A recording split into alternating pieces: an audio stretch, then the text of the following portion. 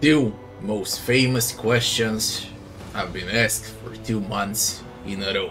What is the most OP companion in a game and what is the most OP class, or better to say archetype for the main character, for the main rogue trader in the game. I'm well over 1000 hours in the game, I tested every build, every companion in multiple builds, I tested every item, everything that you can imagine in a game on unfair difficulty. And these would be the best builds for companions and for your main in Rogue Trader as of the end of January patch in 2024. Things could change, but this is how it is right now. Let's not waste time. Let's go. Are you ready for Warhammer 40k Rogue Trader? As I am. The Emperor protects.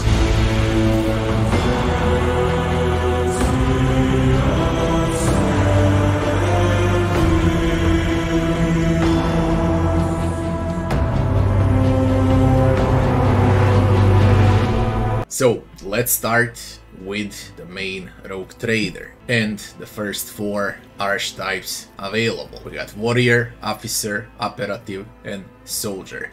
The most OP by far and the most useful one would be the officer and that will be spot number one. On spot number two it is the operative or better to say the boss killer. On spot number three would be soldier and the weakest one would be the warrior. That's for tier 1. Why the officer? Because it gives extra turns, it buffs up the entire team and it can also hurt, depends on what tier 2 archetype you're gonna go for. But officer is the most versatile one combined with psyker abilities he can also become a full tank or a full burst squishy that supports companions. Officer is just the best all around archetype and it fits the lore for the rogue trader extremely well. Why is operative number 2? Because operative can really destroy tankier enemies. This is the main debuffer in the game and an absolute must is to have at least one operative in your team. Why soldier on number 3? Only the reason is very simple. You don't need soldier's damage. Soldier on its own is useless without officer and operative.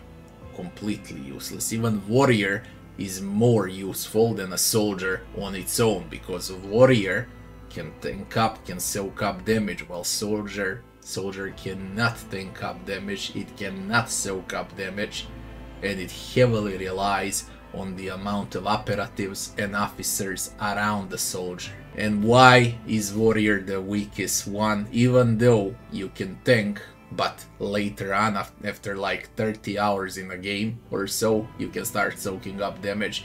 First of all it takes way too long to scale Second of all, those attacks are very costly and the spells you get to buff yourself up or your allies are also extremely costly and you always need to sacrifice something with a warrior, you can never output the full combo even when playing as a Psyker warrior. There are good Psyker warrior builds like a Pyro warrior, okay, where you can burn all enemies around you and of course the best one would be the Sanctic, yeah, but as things stand right now, that's how I scale them. Officer, operative, soldier, and then at the last spot would be the warrior. Now, what about the Psykers? Okay, these would be all of the origins, and those origins merge well with archetypes when you wanna play as dogmatic and so on, so no psykers. But once you pick up psyker, there are five psykers available, okay? Now which one is the most OP? The most OP by far would be the Pyromancer. Now you got my full build for the Pyromancer where I single-handedly kill all enemies in round 1 on unfair difficulty. Basically, you can't do that with every class, very few classes are capable of doing it, Pyromancer is one of those classes, but only if you play Pyromancer as a mage operative. Okay, and that would be one of the most OP things in the game. The other OP thing would be the Officer Sanctic, because you get additional buffs from Sanctic on top of all of those buffs from the Officer they merge extremely well. As far as Telepath goes, it's the second best after the Pyromancer. As far as aggressive Psykers go, Diviner would be a buffer debuffer Psyker, but you got it on Idira, yeah.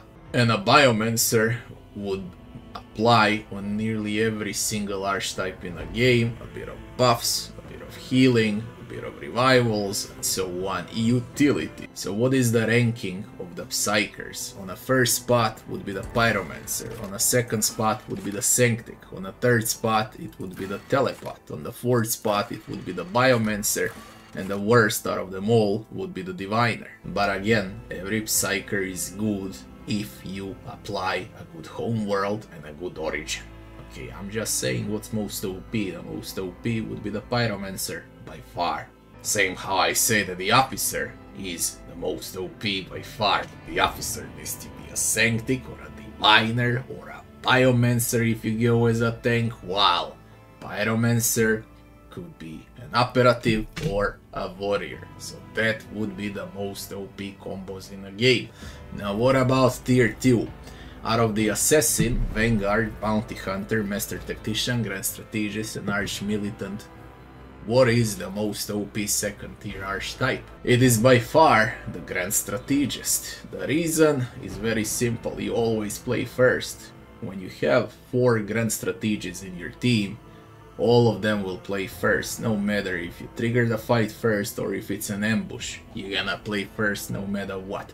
What it means when you play first, it means you can burst out enemies, reduce their numbers, and they won't hurt you as much during round 2, but from my personal experience, round 1 is all that it takes to clear the fight with proper builds on unfair, so Grand Strategist is completely broken and by far the best second tier archetype in the game. After the Grand Strategist, it's Master Tactician, also extremely OP, crazy good cause you can spam ultis non-stop as a Master Tactician. This is a leader. When you have Master Tactician and Grand Strategists in your team, you have nothing to worry about, basically. On spot number 3, I would put Assassin. Assassin can deal tremendous amount of damage with proper builds, no matter if it's melee or a ranged Assassin. Assassin is a great thing to have in a party, or as the main rogue trader, but you need to make sure to support your assassin with other companions. I would give spot number 4 to the Vanguard, because you always need one tank. Vanguard is a buffer, okay, he protects all allies, he soaks up damage like crazy, late, late game it's gonna be potato damage on him, basically with huge deflection, with huge armor, plus the parry and everything that goes with it. Vanguard is basically indestructible. Low damage output, but indestructible. After the Vanguard, we got Bounty Hunter and Arch Militant left. I would take Bounty Hunter for the fifth spot, and the last spot will go to the Arch Militant. As you can see, I'm not putting Soldier and Arch Militant as the most OP class, but as the weakest class in the game, because they are highly dependent both on companions and on the team that surrounds them. They're not as good on their own.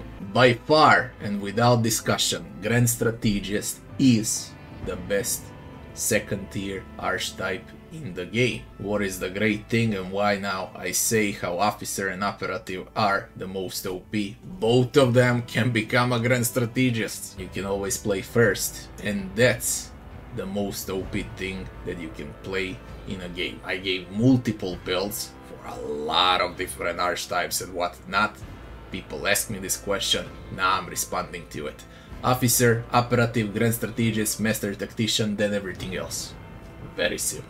What about companions now? Who is the most OP companion in the game? It would be Cassia, by far. Okay, Cassia covers every single thing in a game that exists. Now, she's an officer that can become a Grand Strategist, hence, she's always gonna play first. You don't take Grand Strategist and Officer abilities, you take Navigator abilities. Navigator abilities have AoE damage, crowd control, single target damage, single and AoE buffs, AoE and single target debuffs. Cassia has everything Cassia is the most OP and the most useful companion in the game. After Cassia, it would be Cog for Brains, Know-It-All, Pasqal. If you play Pasqal as a grand strategist, when he always going to play first, okay, he can nuke down tankier enemies, he can nuke down bosses, he can debuff them, he can deal AoE damage, he can soak up damage, and he's there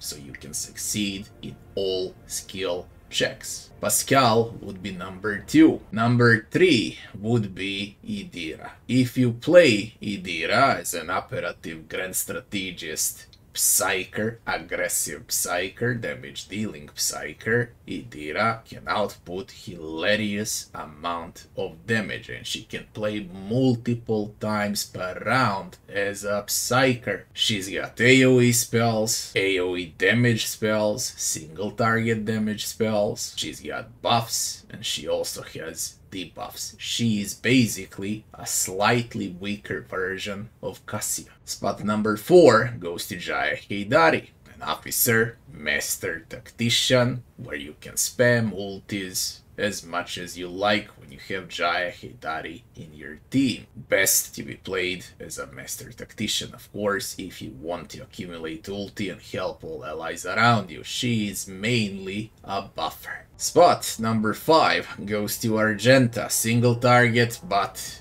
the most important thing, burst damage with a heavy bolter, or you can go with AoE damage, area damage if you play with a flamethrower. It is your choice how you wanna play Argenta.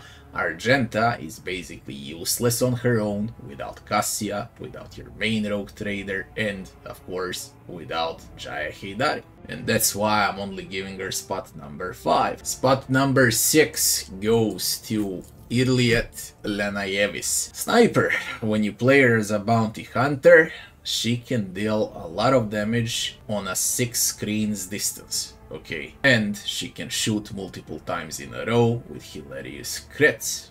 And she can shoot again once she kills an enemy. Classic aggressive sniper. She can also mark praise, and she can produce a lot of passive buffs to her allies with all of those marked units. Once Yrliet becomes an exemplar, she's probably the highest damage output among all of your companions in the game. Spot number 7 goes to Abelard. Abelard takes forever to scale. Once he scales and once you acquire Vanguard Exemplar on Abelard, he'll start receiving potato or better to say zero damage, so useful beyond Act 3, not so good before Act 3. Abelard is basically a punch bag. He's there to soak up damage and defend allies. Spot number 8 goes to Heinrix van Calox. A Biomancer, Assassin, can give extra action points to allies, he can hurt enemies, he can burst out enemies, but he's also for some reason extremely squishy and very, very hard to build the right way. You always gonna suffer as Heinrix. If you opt in for a Psyker, you are losing damage. If you opt in for damage, then you're losing Psyker abilities. If you opt in for dodge, you're gonna lose on damage, and so on and so forth. Heinrix needs to get close to the enemies, okay, it's how I'll get imagine for you to play Heinrix as a warrior assassin, while Abelard as a warrior vanguard. It's how they were created. Now, can you mix something up? Yes, you can, but in the state that the game gives them to you, that's how it is. Heinrix, spot number 8. On spot number 9, we got the squishiest Space Marine, or better to say Space Wolf, in the Koronus Expanse, Ulfar. He occupies 4 tiles, he's completely useless, he misses his targets, he doesn't know how to hit anyone with melee or with ranged. He can soak up damage because he has that auto revival after a round. He could prove useful, okay, when he drops down so he delays enemies as a boulder once he's dead on a map, but that's about it. Ulfar is just straight up bad. Probably the worst Space Marine in the 40k video gaming history. And there is only one worse thing than Ulfar, and it would be Marazhai. I guess during the patches, okay, they gonna fix both Ulfar and Marazhai, make them more OP, give them more specific items, more specific spells, specific homeworlds and whatnot. Right now, currently, as it is, by the end of January, today is 26th of 2024. Ulfar and Marazhai, I don't know who's worse. Uh, if I have to pick, eh, it's Marazhai as the worst companion, probably. But you should just avoid them un until they receive some fixes. Now, it's the complete opposite for the lore, okay? And for the voice acting, Ulfar and Marajai are absolutely great to have for the story parts of the game. But during combat, they are just way too weak. So, I answered two most famous questions most OP Rogue Trader and the most OP Companion. I hope you found this video helpful. If you have any problems with the game, you can always check my guides for all companions, for all of those Rogue Trader archetypes, subclasses and whatnot. Do not forget to like, share and subscribe and I'll be seeing you on the next one. Thanks for watching.